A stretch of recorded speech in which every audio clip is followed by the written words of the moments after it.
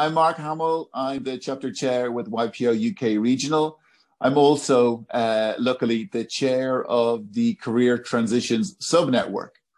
Um, and I'd love to tell you a little bit about that today. So, the YPO um, Career Transitions Network is for uh, YPOers who are currently exploring or about to explore career transition.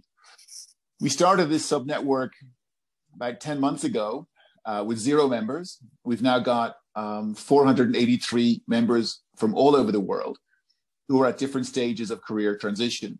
Some actively looking, some passively looking, and others looking to build a board career. So we've categorized the membership community into three.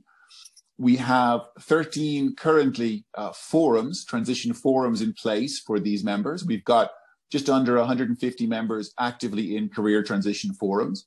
And for everybody, we're putting on a series of workshops and resources about the tactical side of how to re-engage and find your next career opportunity.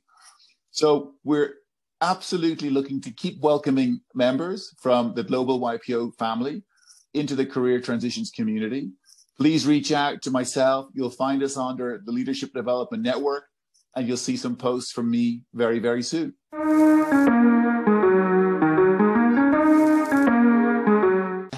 Other YPO members around the world through career transition and be part of our resource guide, please follow the link below. And we'd love to have a conversation to see how you could help other members globally. Thank you very much.